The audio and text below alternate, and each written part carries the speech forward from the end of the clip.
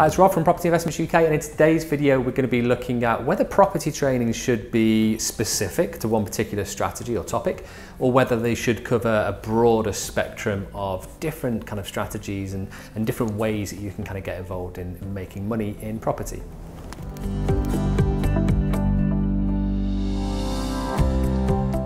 So the first thing to consider when you're uh, maybe looking at joining a property training program or a mentorship program is that there are some downsides if that program is only geared around one particular strategy. So if maybe, for example, it um, just focuses on property sourcing, well, if as you get started in that program, you decide that maybe property sourcing isn't right for you, or maybe there's more time or more money involved than you originally anticipated, it might not be the right fit, but there could be plenty of other options and plenty of other strategies that could work for you in your particular situation, the amount of time you have available, the amount of funds you have available to invest. So what happens sometimes with some very specific training programs is they kind of neglect some people that might be um, fantastic in property, might really get, get on well with some other types of strategies just because they, they stand alone and only focus on that one particular element. So if you are thinking of property um, training and you are looking at a property mentorship program, just consider the, um, the strategy, I guess, and, and just try and look for something that's maybe got some other variances to it rather than just one narrow kind of niche strategy. Now the flip side to that is if you then start to look at property training that's very broad, that has loads of different strategies in there, but it doesn't go too deep, it's maybe only just kind of skims the surface of some of the information. And what you might find is that you get an idea of what strategy you want to do, um, but then it doesn't give you enough to actually physically take action. So it might be lacking in terms of some of the content or some of the support or some of the different step-by-step -step processes that are needed to actually be successful in property. So it's really a balancing act between the two. Um, that's why we'd always suggest when you're looking at property training is to try and find the best of both worlds. Now with the property training program and mentorship program that we have available, we don't just focus on one strategy. We have about nine different topics, nine different strategies that we focus on. That includes everything from straightforward vanilla buy to let through to property sourcing, conversions, flip projects, serviced accommodation, HMOs, a whole range of different property strategies.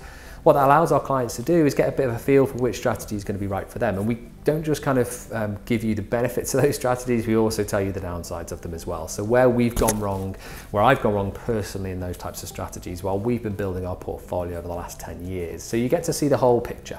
Separate to that, as you kind of progress through training, it's also very in-depth. So we look at a range of different kind of topics and strategies, as we said, but we also look at how you can um, ultimately go forward with each of those. So how do you find the areas? Uh, what do you look for in terms of what's going to be the right type of property deal? And what makes it a good property deal for that particular strategy? How to negotiate with a homeowner or with an estate agent?